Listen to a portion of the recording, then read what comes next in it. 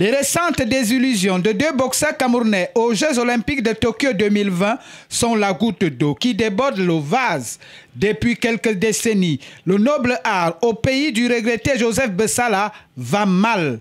Martial Bella Oleme, ancien champion du monde d'Europe et d'Afrique, de passage au Cameroun, dresse son bilan. Je l'ai dit, la boxe camerounaise, elle est malade, elle est en souffrance. Il faut vraiment... Euh, à mon avis, changer toute l'équipe dirigeante, refaire, restructurer tout de fond en comble pour redonner euh, vraiment euh, la boxe, euh, l'image que la boxe camerounaise avait dans le temps. La boxe camerounaise a formé beaucoup de champions, nous n'allons pas citer les noms ici. Donc il faut vraiment retrouver cette dynamique, cette technicité que la boxe camerounaise avait. On croit que c'est le football seulement qui a rendu le Cameroun célèbre. Non, il y a eu la boxe aussi. Euh, je vais citer déjà à l'époque euh, le médaillé d'argent, euh, paix à son âme aujourd'hui, Joseph Bessala, Martin Donguebanga, Jean-Marie Emebe et Cassie Norbert qui a aussi relevé la boxe au niveau mondial. Loin d'une volonté électoraliste, cet ancien pugiliste de renommée internationale est venu apporter sa pierre à l'édification de la boxe au Cameroun à travers l'œuvre commencée par un autre ancien boxeur, Alexandre Bente.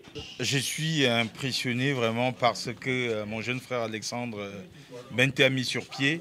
C'est toute une organisation digne de ce que nous vivons de l'autre côté. Je pense qu'il a puisé... Euh, aussi de là-bas pour amener ça ici. Et, je ne peux que euh, l'encourager dans ce sens-là.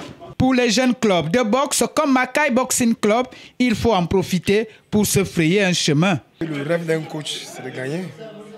Euh, l'absence, c'est de gagner parce que tout ce qu'on fait, quand on pas cultiver, c'est pour le compter. Et quand nous, on fait quelque chose, c'est pour... C'est-à-dire qu'on a envie que Makai, c'est un nouveau club, mais six mois, oui, mais on a envie de faire comprendre aux yeux des gens que Makai, certes, ils viennent de crier, mais il faudrait qu'on retrouve au sein de Makai des talents, talents individuels, s'il faut le dire. Le noble art a besoin donc de tous ses enfants pour son émergence, mais surtout dans la promotion et la vulgarisation de ce sport qui a fait et continue de faire connaître le Cameroun à l'extérieur.